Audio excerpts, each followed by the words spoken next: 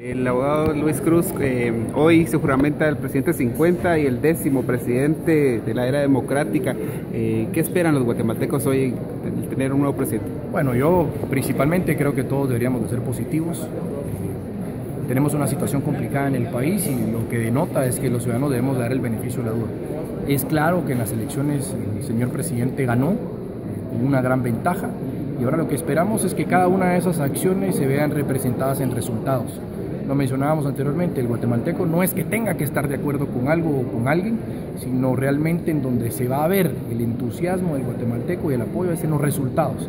¿Qué equipo va a nombrar? ¿Cuáles son los inicios que va a tomar? ¿Cuáles son los proyectos? ¿Qué proyecciones?